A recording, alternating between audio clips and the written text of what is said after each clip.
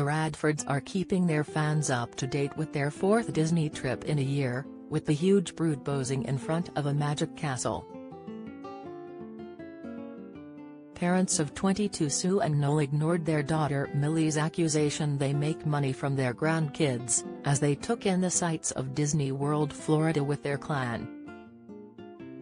The parents and some of their kids and grandkids smiled in a new family photo, several wearing Mickey Mouse shirts as they stood in front of a pink and blue castle, in a picture posted on their Instagram account. The caption read, had the best day in Magic Kingdom but the kids were so shattered on the first day round the park so back to the villa and the pool it was. Sue smiled in a selfie with two of her brood, with the castle in the background, while she also shared clips of the youngsters playing in the pool, eating chicken nuggets and chips, having a go on rides and taking in a Beauty and the Beast show. The family have yet to comment, after Millie, 22, hit out at her mum and dad on Instagram, reposting a video which saw the pair tell grandchildren Daisy, April and Leo that they were taking them on holiday. Millie is mum to Ophelia and Chester, who weren't involved. Millie, sharing the video, said, Cute?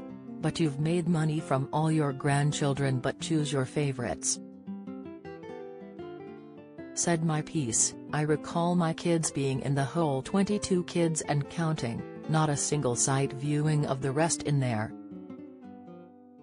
Bear one EP.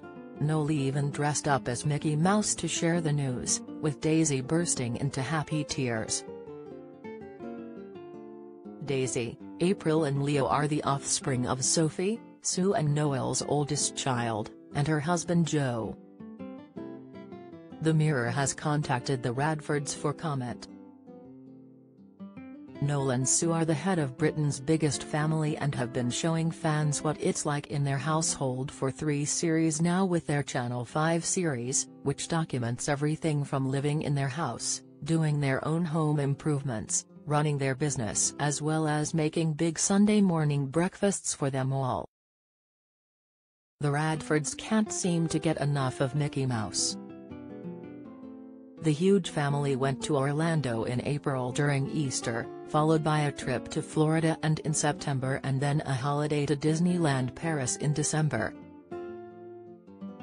Sue and Noel don't rely on benefits, running a pie business in Lancashire to fund their lifestyle. Last year, Mum Sue enjoyed shopping in New York and a trip to the Maldives, just two of the several holidays she took last year. During the most recent series, Noel announced plans to retire from his pie business, with offspring Chloe and Luke both vying to take over.